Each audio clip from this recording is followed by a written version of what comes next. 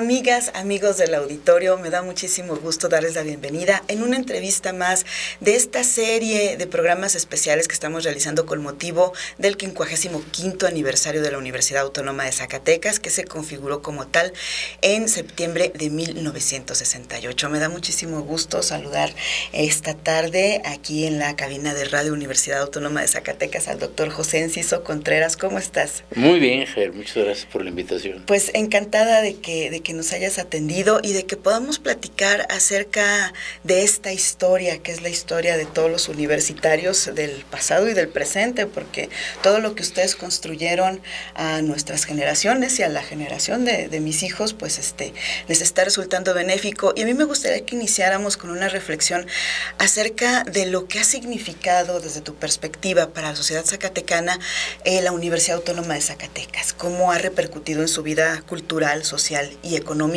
a lo largo de estos 55 años? ah, pues bien, con todo gusto, porque creo que no necesitamos aniversarios para reflexionar permanentemente sobre eso eh, y para críticamente evaluar si lo estamos haciendo bien o si lo estamos haciendo mal, eh, o qué tan bien y qué tan mal en relación a las necesidades de un país tan complicado, tan grande, tan de peso en la historia y en el concierto internacional como es México.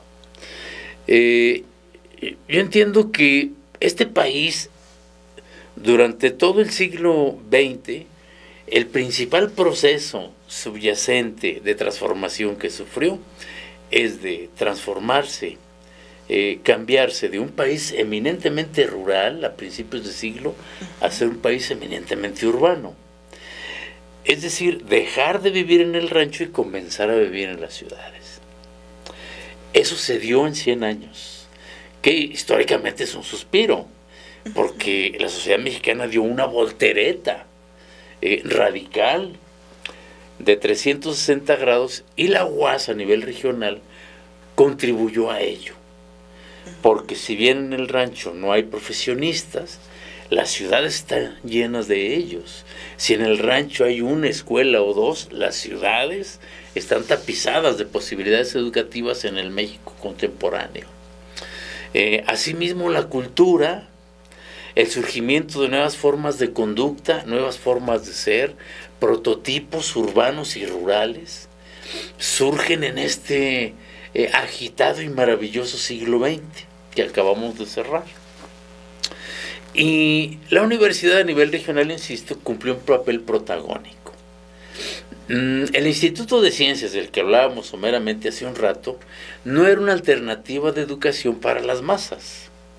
Desde su origen, desde sus antecedentes, ya forzando las cosas, desde sus antecedentes coloniales, fue una alternativa para minorías privilegiadas. Y a partir de la creación del Instituto de Ciencias Autónomo, por es, un decir, y sobre todo a partir de la universidad en 1968, se abre la posibilidad de la educación de masas, Jael. Es decir, de la educación de la mayor cantidad de personas posible. La universidad contribuye no solamente a proporcionar los profesores y las bibliotecas, sino esta, la de Zacatecas, contribuye incluso a pagar la manutención del que no tenga, estudiante que no tenga dónde vivir, eh, que no tenga qué comer. Es decir, comenzó a dejar de ser un pretexto la pobreza para el que realmente tenía ganas de eh, iniciar una vida académica y hacer una carrera profesional.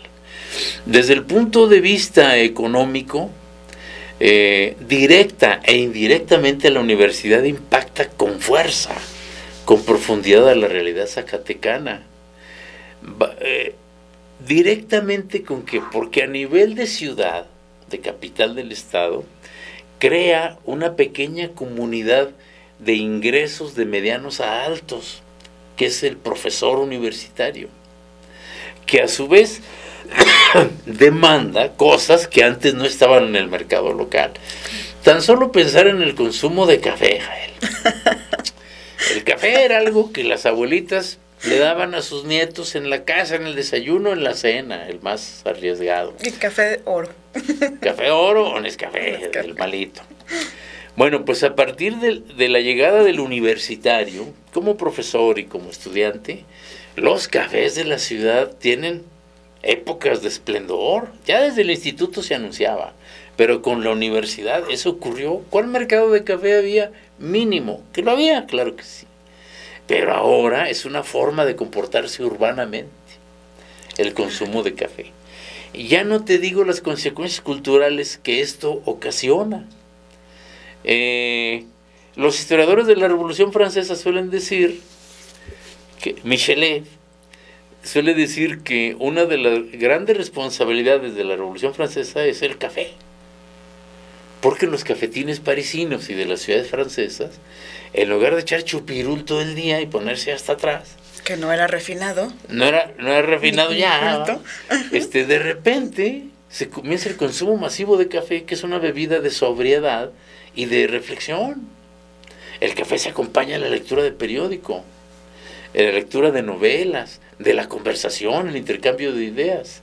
Eso estaba, la universidad no solamente transformaba Zacatecas en las aulas, sino que se desdoblaba en los espacios urbanos. Otro mercado que, estamos hablando de, las implicaciones directas en la economía local y en la cultura local. Otro mercado muy olvidado en lo, en lo que alguien llama la Edad Media Zacatecana, que es la primera mitad del siglo XX, es el del libro. Claro. Teníamos dos o tres puestos de revistas que funcionaban por ahí aisladas en la, en la traza urbana de Zacatecas y la irrupción de las librerías, eh, no te digo quiénes porque se enojan los de, por ejemplo, la librería Don Quijote, que abasteció a la demanda de libros de universitarios por décadas. La propia librería universitaria, que en el instituto era una especie de burla, con la universidad se transforma en una eh, vía de activación, de vitalización del pensamiento y de la lectura, que la literatura, que las ciencias, las técnicas, la política, y además casi te regalaba el libro en la universidad, si eras profesor hasta créditos, casi te rogaban que lo leyera, pues la política. Y si eras estudiante tenías una beca de libros. Una beca de libros, que no eran los más divertidos porque eran los manuales de derecho, los de contabilidad, no sé, pero bueno, te podías llevar en el paquete literatura, aprovechar el boom latinoamericano, que es otro de las cosas del siglo XX a nivel universal. Este, insisto, las librerías son otro espacio, esta que recuerdo es una de las importantes, pero surgen muchas más.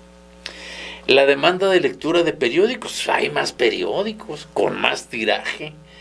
Eh, es decir,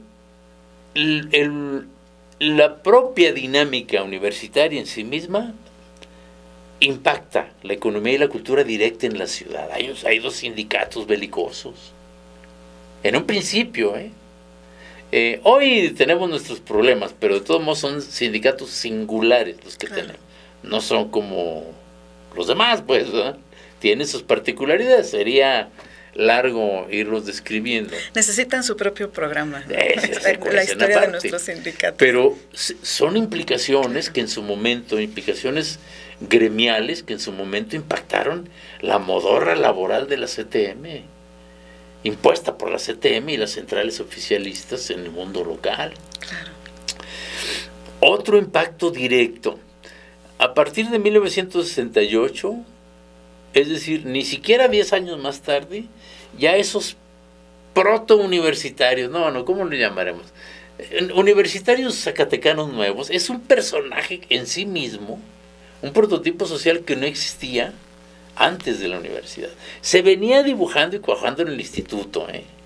pero en sí mismo irrumpe en el escenario urbano y en el Zacatecas con su propio perfil y además irrumpe con un personaje ruidoso, disruptivo. Y, hasta con un aspecto peculiar porque eran los que andaban greñudos. Exactamente. Tampoco impactaron en el mercado de jabón, ¿eh? De tocador. Pero en otros sí. Este, y bueno, llegaron en un momento, en la, en la confluencia de circunstancias en la historia nacional y local, con un gobierno hay que reconocer, eh, ya cuando irrumpen en, la, en, la, el movimiento agrario eh, zacatecano, es. la, el bautizo de fuego de esa generación disruptiva crítica. Así es. Eh, con mucha suerte, digo yo, porque les toca un régimen, que es el de Echeverría, que estaba impulsando la toma de tierras. Entonces, sin mucho riesgo en el fondo, aunque los universitarios de esa época no lo sabían, se entregaron en una lucha que no llegó a ser violenta, pero sí muy movida, en una lucha justa por el reparto agrario en, el, en Zacatecas. Fíjate nomás qué transformación, la estructura social agraria de Zacatecas también se transforma con la llegada ruidosa y bullanguera de los universitarios. Se distribuyen en el, territorio estatal. Están, vamos, ni el Partido Comunista era universitario entonces. Eran viejos militantes mineros, ¿verdad? Que se vinculan a los universitarios que entran como mavistas, otros guistas. a lo mejor muchos de ellos no conocían ni un rancho, pero a partir de eso lo hicieron. O, o, también es un proceso en donde muchos zacatecanos nacidos en los ranchos o en los municipios, se incorporan a la universidad y regresan a sus eh, eh, comunidades como agentes de cambio. Se nos puede ir todo el programa en eso, entonces dejémoslo de esa manera porque también hay consecuencias indirectas. Mm, quien, quien tenga la fortuna de moverse tanto por su trabajo, por curiosidad, de visitar una mina moderna en las goteras de la ciudad, para empezar. Aunque las hay lejos, Mazapil, Colchá del Oro, todo eso. pero tenemos unas aquí a la vuelta. Tenemos aquí. Va a hacer mucho ruido todavía, por cierto. Este, quien baje a cualquiera de los niveles de estas minas nuevas, de capital extranjero, se dará cuenta que ya no es la mina llena de trabajadores. Son máquinas son máquinas enormes que entran por partes. Y quienes están gestionando la operación de esa actividad minera primaria básica en, la historia y en la economía zacatecana son técnicos ya de primer nivel. Anda por lo menos dos ingenieros. Arriba está el metalurgista, el, el ingeniero minero, el metalurgista, abajo el minero, ingenieros. Traen equipos técnicos manejando los jumbos que le llaman ellos. Bueno, a partir de la universidad, esos grandes desarrollos tecnológicos universales en esa industria, por ejemplo, fueron gestionados ya por personal técnico egresado de la universidad de alta calificación. Si por mala suerte te da un infarto, que es algo bastante común, ojalá que no, ¿eh? esperemos que no. Eh, deseamos que no. Eh, quienes te sacan del, trance, si tienes tiempo de llegar a tiempo al seguro, quienes te llaman, sacan del trance del, infarto, es un equipo compacto de especialistas egresados de medicina de la UAS, ¿eh? Los que te sacan de eso. Vamos, a ver quién te saca una muela y aplica las técnicas contemporáneas, modernas, para, para renovar tu dentadura, en la enseñanza. Es más, ¿quiénes son los profesores de las universidades patos? También egresados de la UAS, Por eso se les quita un poco lo pato, además. Porque egresan de la universidad en la enseñanza, en las artes. Tenemos premios de poesía que serían impensables. Este, bueno, por un lado, el desarrollo científico y tecnológico del mundo, de México y de nuestra región es gestionada por estos eh, sectores innovadores en la historia de Zacatecas que acercan estos beneficios a la población.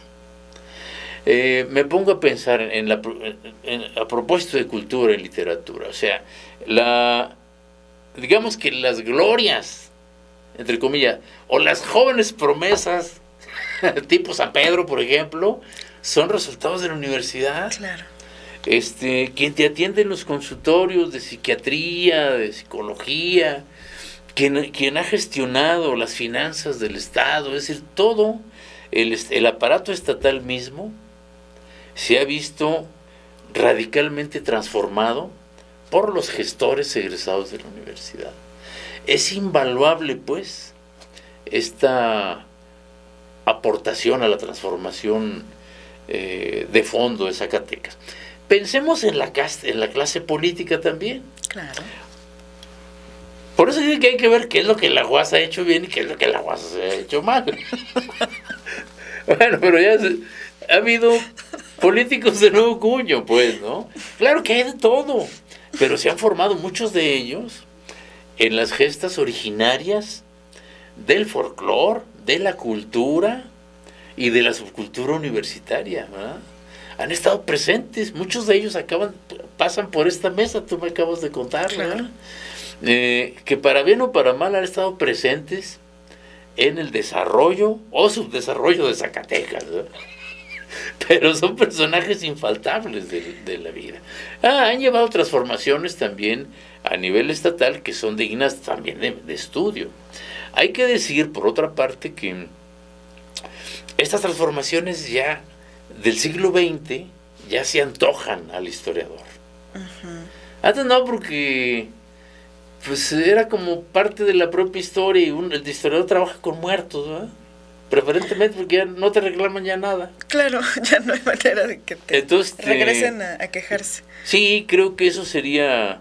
Eh, estamos en condiciones de valorar críticamente esta, eh, este proceso interesante. Por eso estamos haciendo esta serie de, programas, porque creo que sí, efectivamente estamos en un punto en el que todavía tenemos a una buena parte de los protagonistas de los sucesos de ese tiempo vivos y, tenemos Uno más que otros. tenemos que valorar su conocimiento y su sabiduría, pero también, como dices tú, estamos a suficiente distancia para valorarlo críticamente y ver qué se hizo, qué se dejó de hacer y qué hemos heredado y cómo podemos enmendarlo si es que no, no se hizo de la mejor manera. Sí, porque ya como que existe una conciencia más madura de esta, de esta visión. Hubo un tiempo que no se podía tocar estos temas. Además, bueno, este, el, el, siglo XXI eh, este, está en un punto este, la quinta parte muy interesante, además después de la pandemia, ¿no? Estamos como en un punto en el que tenemos que estar precisamente valorando cuál va a ser nuestro papel en la historia. Así es. Y pues yo creo, no, no tengo la menor duda de que es labor también de los propios universitarios. Es muy difícil, es imposible estudiar críticamente la universidad sin estudiar críticamente la sociedad zacatecana. Y hasta para eso, pues puede dar la universidad en su, en su nobleza para ser lo suficientemente autocrítica para ver hacia dónde vamos y hacia dónde no debemos ir. Mm, yo sostengo que hoy somos ya muy diferentes. Hay un proceso prolongado de aburguesamiento de la, de la universidad, pero no es nada más de la universidad, de todos los sectores sociales.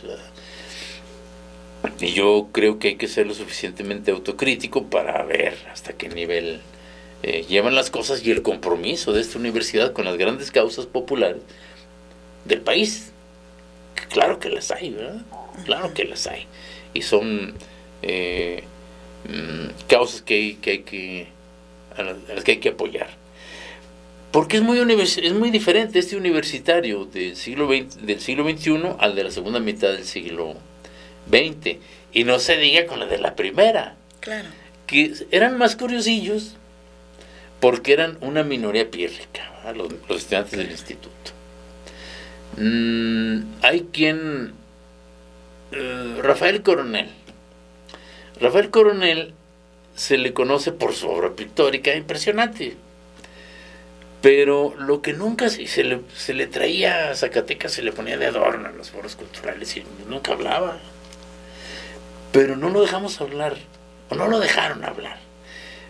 Porque si hubiera hablado, las pocas cosas que yo le conozco que, que dijo, son interesantísimas, porque le toca vivir esta primera parte del siglo XX, heredera directa del, de la tragedia que fue la toma de Zacatecas y del proceso lento y complicado de reconstrucción del tejido social.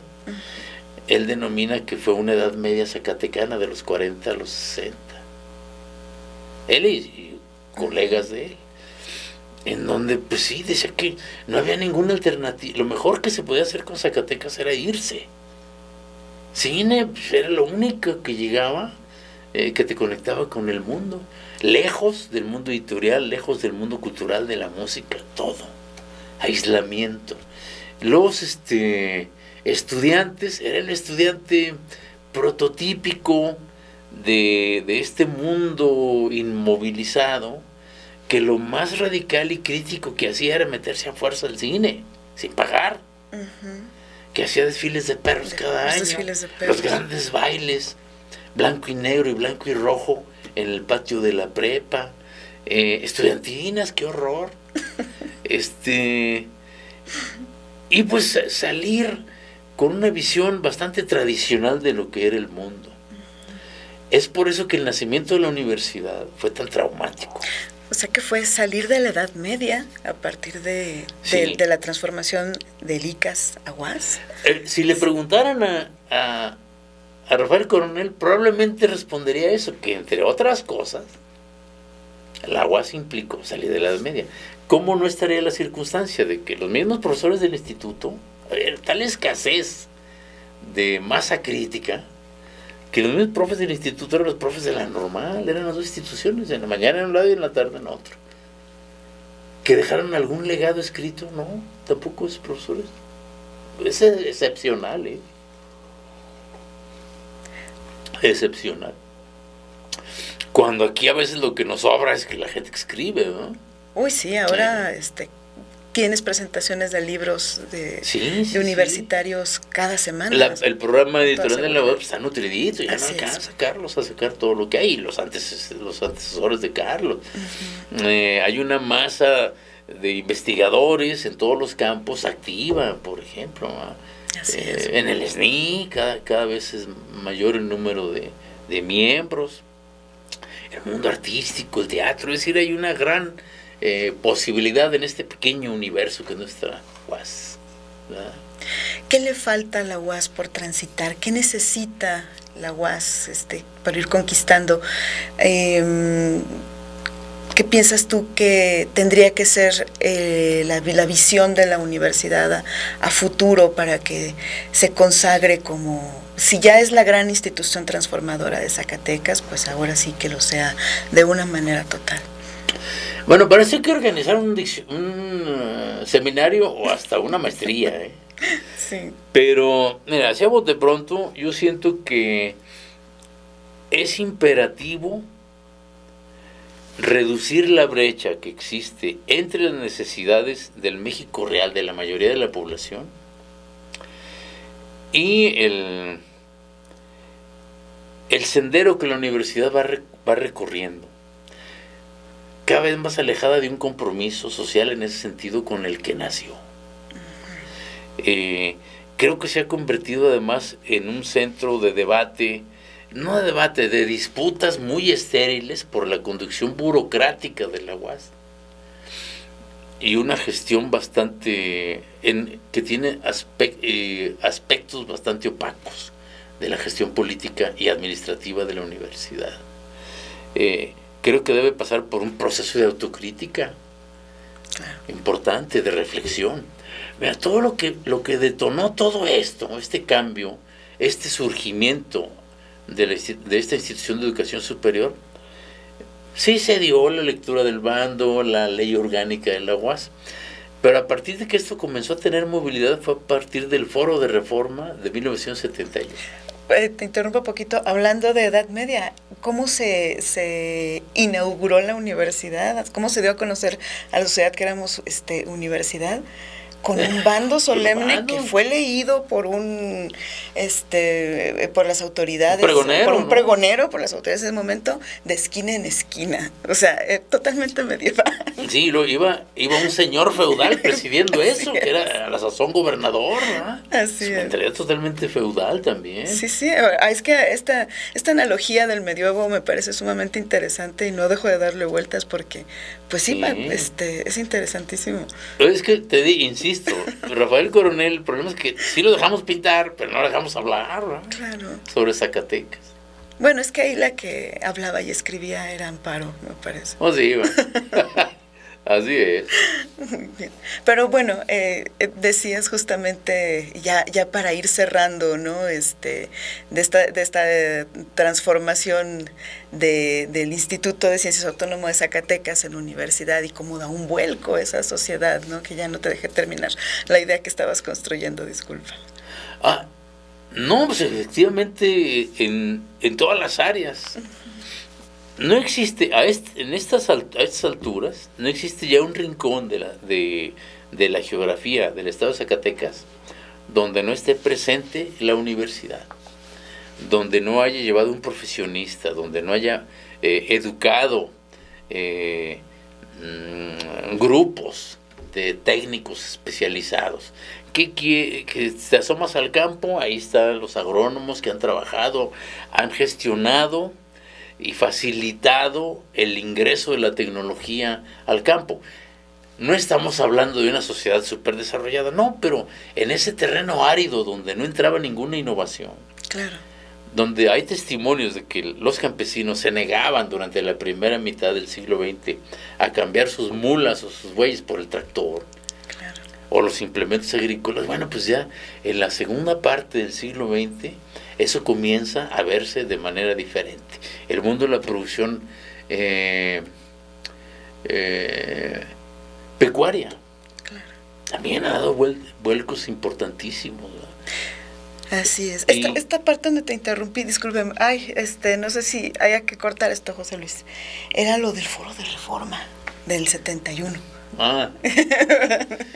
sí, o sea, no, no me acuerdo tanto de qué salió, pero creo que era por lo de la... Lo de la autocrítica. La autocrítica. bueno, mm, ese grupito de profesores y estudiantes sobre todo, tuvieron ese, el valor pues de, de criticar a la sociedad mexicana en lo general de su época, estaba muy reciente el 68, de criticar al régimen, de criticar la antidemocracia, eh, mm, esa, eh, ese endurecimiento del prismo clásico de esa época y con la herramienta crítica del marxismo de la época que era más bien enunciativo.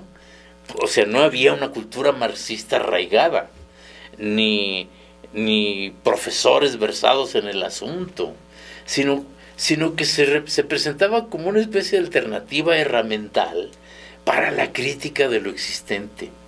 Y desde luego se impregnaron los programas de crítica. A mí me tocó ser educado en esos programas. Yo entré a, la universidad en el 77 y los profesores, este, era el credo de todos ellos. Eh, insisto, a veces más, más eh, difundido que leído. Claro. Pero se hacía, con la actitud es lo que contaba. Criticar el estado de cosas radical. Incluso los viejos profesores del instituto de, no te digo quién porque se enojaría el licenciado Almanza. Es decir, que un hombre ya de edad, era profesor Lázaro Rivera, profesores que les tocó la transición, el tuto. Pero especialmente los dos primeros que te dije, eran mentalidades ya muy críticas en tiempos del instituto. Así es. Eh, lectores además de, de, una, de una gran oferta de alternativas políticas y filosóficas.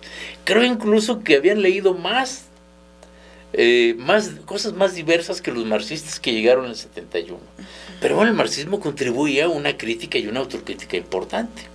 No llegó a salvar todo, pero sí fue una herramienta, una plataforma de pensamiento para la construcción de nuevas realidades institucionales.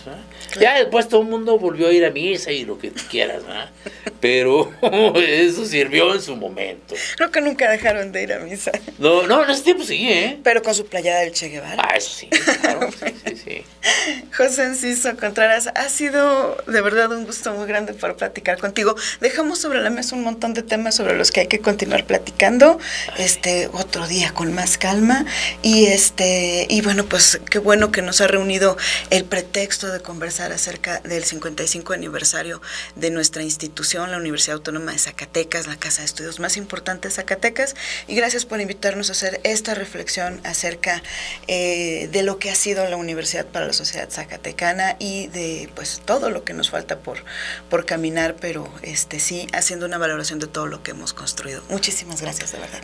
Al contrario, Jael, ¿eh? fue un placer estar aquí. Muy bien, y pues muchísimas gracias, amigas, amigos que nos han escuchado a través de las redes sociales de la Coordinación de Comunicación Social de la Universidad Autónoma de Zacatecas. Continuaremos presentándoles conversaciones como esta que nos hacen reflexionar acerca de la historia, nuestra propia historia. Hasta la próxima.